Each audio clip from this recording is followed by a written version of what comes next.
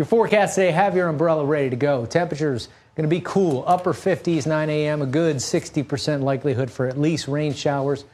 Thunderstorms possible today, not expecting strong to severe storms with these. Temperatures will get in the mid to upper 60s. Rain is going to really wrap up pretty quickly, though. Once the low pulls far enough into central and eastern Pennsylvania, we'll see that rain kind of wrap around and move completely out of the area by late day and then clearing out quickly. Overnight tonight, we're going to have clear skies, going to be chilly overnight, going to drop in the low 40s.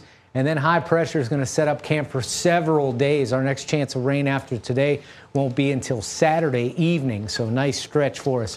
Looking at rainfall outlook, where you see those higher amounts is where some thunderstorms are possible to form. Generally, a quarter to a half inch of rain for today.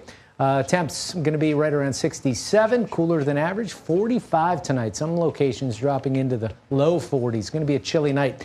Beautiful tomorrow, just a little on the cool side, upper 60s. Sunny skies Thursday, Friday. Saturday, we'll have sun and clouds, mid to upper 70s, start to warm up, and we'll see a shower chance Saturday night.